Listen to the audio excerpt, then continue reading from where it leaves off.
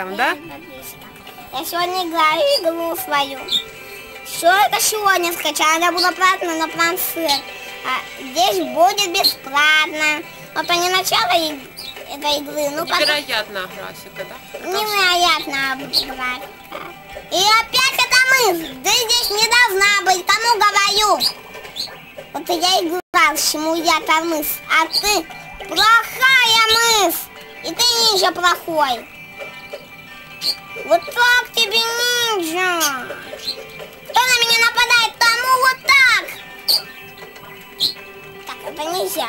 Так, это не пойдет, вообще не пойдет. Такие цвета зеленые, яркие, бирюзовые, голубые всякие, зеленые. Класс. Очень здорово. Я думаю, нет.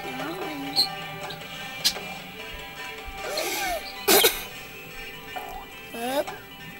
Как Ой, эту игру увидел, Зай? у папы дочки Геймс эту игру увидел. И у Миланы эта игра. И Потопик! Иди сюда, мышь. Иди сюда. Сюда, я обязательно это соединю. Как Ну. ты по клавиатуре классно бегаешь пальчиками. Молодец. Серьезный. Люблю тебя.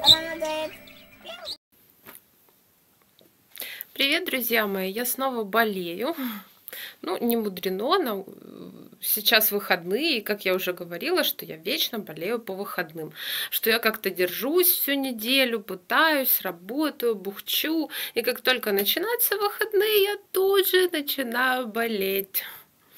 Я очень надеюсь, что рано или поздно эта традиция разрушится, и мне хотелось бы к следующим выходным все-таки победить этот момент и прекратить болеть по выходным. Вот. Что еще хотела сказать? А, Меня очень сильно раздражает, ну да, меня я действительно неравнодушна ко многим вещам. И да, я не могу сказать, вот мне пофиг на все. Мне все равно на то, мне все равно на это, как вот некоторые.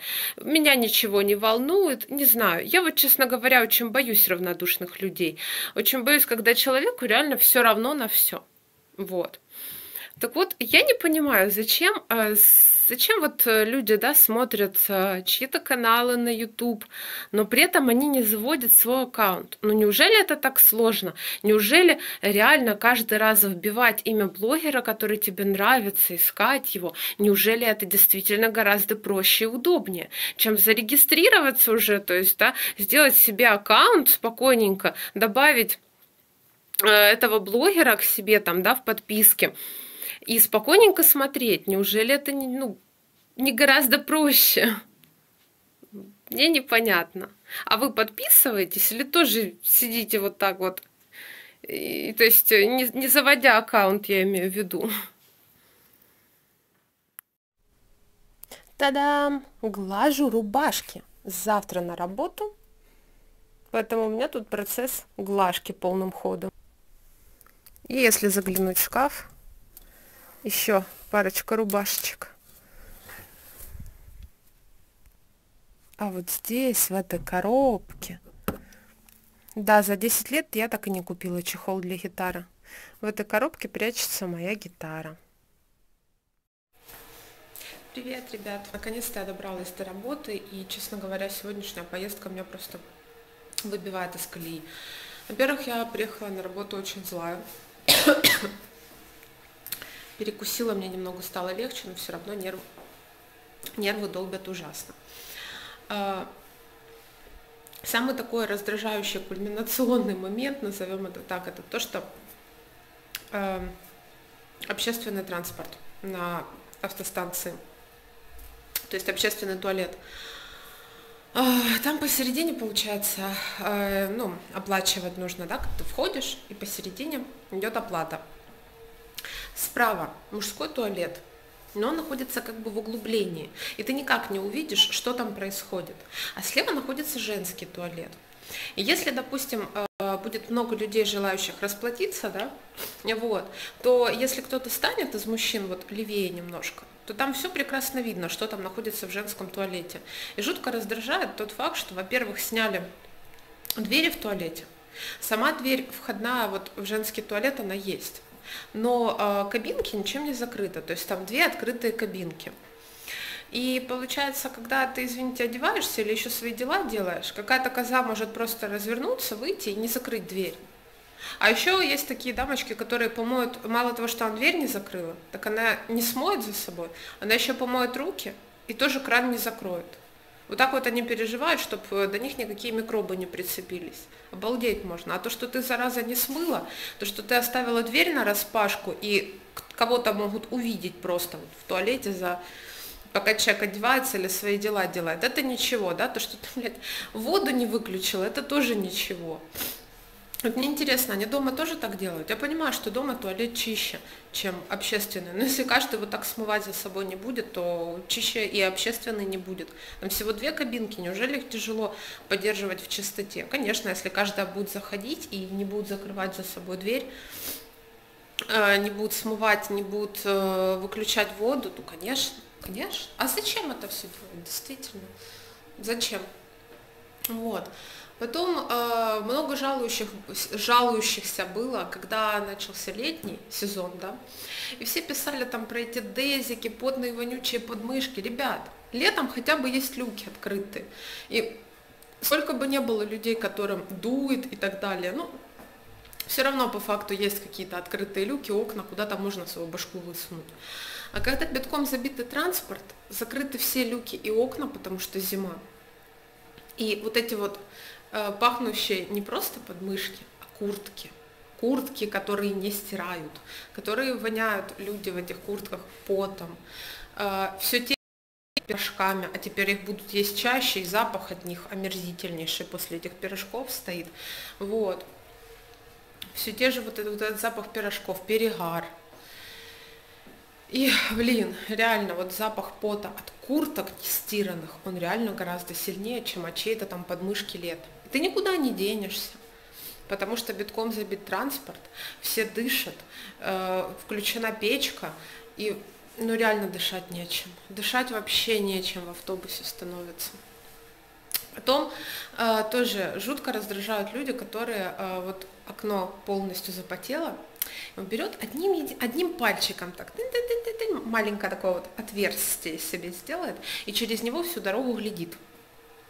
Самое интересное, сегодня один дед, он так боялся пропустить свою остановку, конечную, да, конечную боялся пропустить, он полдороги э, так оглядывался вот, вот в эту вот дырочку, вот, так туда заглядывал, заглядывал, и под самый конец дороги он даже все вытер окно в итоге. Под самый-самый конец дороги до него наконец-то дошло, что можно вытереть полностью окно. Это, то есть они так боятся выпачкать руки, потому что автобусы, ну реально их, их моют очень редко. И очень малое количество водителей их действительно моет. И иногда, да, если вы вытрешь окно, это вот рукой, у тебя вся рука будет грязная, черная. Это проверено. У меня на сей случай есть маленькая тряпочка, чтобы все это дело вытереть. Потом будет мороз. И вот эта история с пальцем, она будет продолжаться, потому что будут э, колупать ногтем, тоже вот все то же самое маленькое отверстие, чтобы через него заглядывать, что там, какая там остановка. Я не знаю почему, но это меня очень бесит. Вот. Тоже очень странно, когда человек вглядывается в запотевшее или замерзшее окно, Э, вот оно полностью запотело, замерзло, а вот он прям вглядывается. Я не знаю, видно ему там что-то, не видно. Ну, почему не протереть нормально его полностью? Ну, то есть, неужели это сложно? Ну, или хотя бы не вот такую маленькую дырочку, а, ну, побольше, вот, поле зрения расширить, да? Вот. Ну, вот с туалетом это прям бесит. И вот практически каждая так. Вот практически каждая такая чистюля, что она вот не дотрагивается до кнопки слива, она вот свои делишки поделала, иногда весьма тяжелые, да, и она не смывает. Она не смывает, у нее все нормально. Вот так оставит, она рученьки свои помоет, кран не закроет и идет. Все, у нее все нормально, она справилась, на свои дела поделала. Боже, как это омерзительно, вот серьезно. Сейчас еще начнется сезон, а, когда поедут а, в больницы с детьми. Сейчас уже набиваются люди с детьми. И была одна ситуация, когда возле меня села маленькая девочка, девушка уступила место ребенку, вот сидит эта маленькая девочка, э, ей плохо. И вот едут мама с бабушкой, обсуждают, зачем бабушка накормила ребенка сосиской перед поездкой в больницу, что вот ей сейчас плохо, ее сейчас будет тошнить, ребенок начинает кашлять, она болеет. Я тоже не пойму, зачем из одного города в другой ребенка везти в больницу, мне это вообще непонятно. Причем э, они вышли, э, они приехали из Ясиноватой в Макеевку, они вышли и поехали дальше в Донецк. То есть и даже не в другой город, блин, они тупо в третий, блин, город поехали в больницу с простудным заболеванием. Ну, я пока ехала в автобусе, я слышала, чем ребенок болеет и куда они едут. С простудным, блин, заболеванием вы везете ребенка э, через два города, серьезно, который рыгает всю дорогу. Ну, эта девочка раз ее стошнила, они нашли кулечек, вот э, раз ее стошнило этой сосиской. Потом через время у ребенка опять начались рвотные позывы, ее опять стошнило.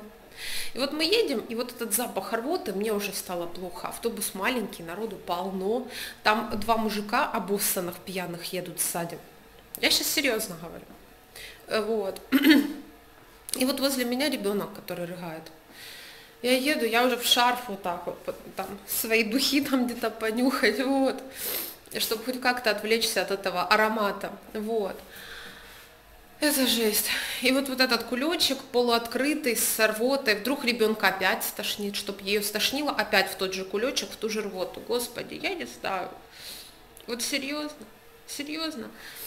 Регулярно в автобусах, э, когда большой промежуток э, между транспортом, автобус стоит и бывает напрашивается к водителю посидеть. Но кто напрашивается, ребят? ну, не простые люди напрашиваются, а люди, которые нажрались и которые запросто могут обоссать сиденье в это время. Этого не происходит? Это происходит.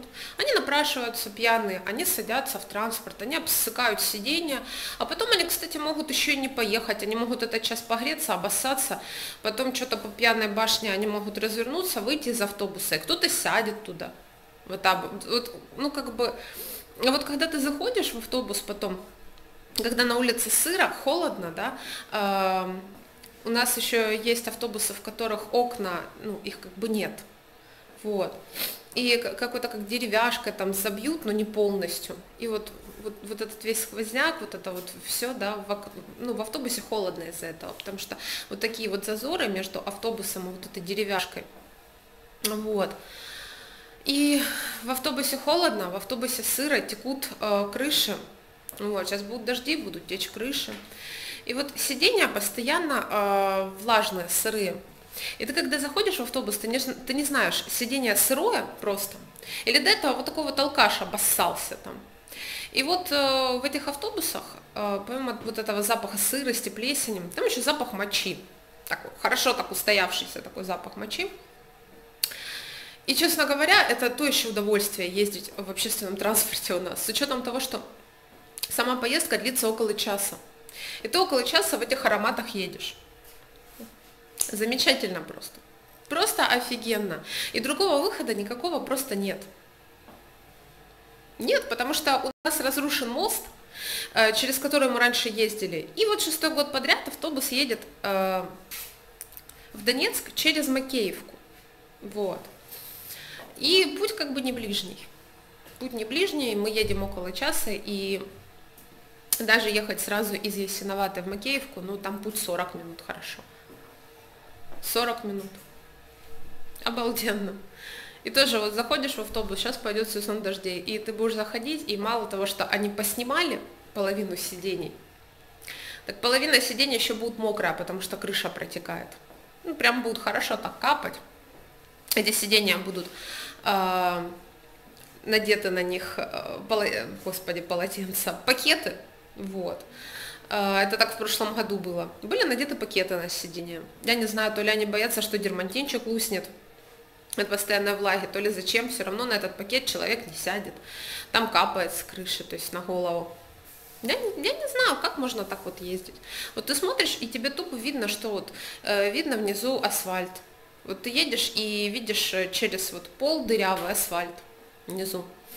Э, видно, что весь автобус ржавый, он уже поржавел, он проржавел, и видно вот сзади автобуса, если стать, видно через дырки салон. Ну, я не знаю. Э, едешь, э, окна, они дребезжат, окна в автобусе стучат, вот, и ну, как бы, вот, вот такие наши реалии, вот такой наш общественный транспорт, и почему-то именно сегодня мы очень долго ехали, и, и это уже не считая того факта, что несколько раз э, я поучаствовала в том, чтобы автобус завалился на одну сторону и упал. Потому что очень-очень набивают людьми, автобусы, вот, особенно из, э, из-за того, что у нас теперь дорога идет не Ясиноватая Донецк, а Ясиноватая Макеевка Донецк. И из-за этого э, по Макеевке э, сажают водитель людей не только на остановках, а еще и между остановками. Очень-очень много людей получается. И автобусы иногда перекидываются. Вот. А, плюс у нас дороги не самые наилучшие, они до сих пор разбитые, побитые. А, многие дороги не ремонтируют по той причине, что могут быть все еще попадания, может быть продолжение боевых действий, и поэтому не видят смысла в том, чтобы ремонтировать эти дороги. Они не отремонтированы. Так вот, автобусы падают. А, несколько раз поучаствовала в этой авантюре. Один раз ехала в автобусе, который сзади начал гореть. Спасибо, что водитель все-таки не сделал так, как э, произошло однажды, да, когда автобус горит, а водитель просто выпрыгивает из автобуса, а люди остаются в автобусе. Ну, классно, блин. Вот. А, следующий момент – а, я там показывала еще на видео пластилин и пластилиновый домик, который строит малой. Это он строит домик по игре оранжевые штаны. Вот, у него уже ушло три пачки такого пластилина. Это, кажется, четвертую я вам показала. Вот, он весь воодушевлен, вдохновлен. Я очень рада, что он нашел себе такое занятие. Вот, что ребенок занят, ребенок творит, ребенок счастлив. Ну и я, естественно, счастлива. Вот, то я ему помогаю, то дедушка ему помогает. Вот. А, потом показала вам еще сумочку. Это сумка мамина. Мне она просто безумно понравилась. Она реально очень классно сделана. Все швы кожаная, очень классная. Мне кажется, она очень стильная. Такой благородный коричневый оттенок. Вот, мне кажется, она под все подойдет. Очень. Не знаю, на чем я там закончила. Мне позвонил Володька и не помню я. В общем, сумка, по поводу сумки, э, да, там говорила, и швы очень классно все прошито, вот, и э, она кожаная, и цвет очень классно, благородно коричневый ко всему подходит. И, ну, в общем, очень стильная, классная сумка. Она до этого еще одну покупала, и я такую увидела в обзоре у одной блогерки на ютубе. Э, но у нее, правда, такая сумочка была то ли то ли из Вены, что-то такое. А, вот, а, но она ее не купила, она в смысле просто показывала обзор своих покупок, а, там, свой шопинг, вот. И она показывала такую сумку, вторую, как мама взяла себе, за 700 долларов или 700 евро. По-моему, 700 евро, по-моему, евро в Вене. Ну, блин, мамина, конечно, не 700 евро, но она тоже обалденная, вторая сумка. Ее, правда, на видео нет, но она реально классная, и она точно, точно такая же, как та сумочка за 700 евро в обзоре шопинга вот этой вот блогерки из Вены. Вот. А, что еще? Заколки. Заколки. Я там еще заколки показывала. Вот. Э, классные, просто классные, красивые заколки, резинки. Это мне мама с малым подарили. Вот. Э, так как волосы я постоянно собираю, они мне постоянно падают на лицо, и ну, как бы это не совсем удобно так ходить, особенно на работе, вот, и, и когда кушаешь, да, все, все вот это в еду. Мне это напоминает, знаете, вот эту девушку, которая выползала из колодца в японских фильмах, да, вот это вот все на лице, или я Козен Воно, да, из э, семейки Адамс, или как они там называются, вот. Я не помню, кажется, это все, кажется, все, все, что я хотела сказать, на данный момент, на сегодня, вот, все, что меня так э, нервирует, все, что меня так раздражает, все, что меня так затрагивает, вот, э, пока все. Спасибо, что выслушали. Удачи вам, ребят. Удачи вам и хорошего вам шопинга и хорошего общественного транспорта в ваших городах, странах. Пока.